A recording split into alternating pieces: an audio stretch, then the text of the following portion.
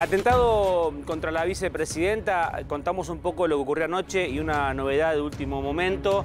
Lo primero es que Brenda declaró, en realidad respondió siete preguntas de su abogado, dijo no tengo nada que ver, lo acompañé, pero la verdad que no, no, tengo vínculo con el atentado, no sé qué hizo mi pareja, la verdad es que yo lo desconozco. De hecho va eh, el relato muy acomodado en base a lo que también declaró su pareja, Fernando Sabac Montiel, porque dijo no voy a declarar.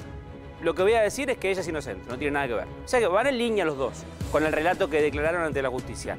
¿Dónde los trasladaron a los dos juntos? A una dependencia de la PCA. No están más ni en Madariaga ni en Cavia. Por otro lado, hay un dato muy importante de esta historia. El día del hecho, el día del hecho, eh, esta pareja, esta joven pareja que vivía en San Martín, decidieron juntarse con una persona en un local de comida rápida de Quilmes. Está todo en las cámaras y están intentando saber qué pasó en esa reunión, en realidad no fue una reunión en sí. O sea, nunca se encontraron en el lugar. Pero la mujer que estuvo comprando en el local de comidas rápidas dejó un papel en el piso que Brenda recogió segundos después. ¿Qué había en ese papel? ¿Quién era esa mujer? Todo intentan resolverlo en, e, estas horas. Tiene muy, la verdad es que la justicia hoy tiene muy pocas pruebas. O sea, los indicios que hay o las pruebas que hay fácticas son el arma, obviamente, las balas encontradas en la casa, testimonios que van y vienen de los amigos, teléfonos celulares, algunos secuestrados, por ejemplo, de los amigos que lo, entregaron a la justicia. El teléfono de Brenda, ¿qué era el teléfono de Brenda? ¿Sabía, no sabía por qué mintió? ¿Tuvo planificado? ¿Se puede saber si un atentado se planifica con tres o cuatro fotos? La verdad que es extraño.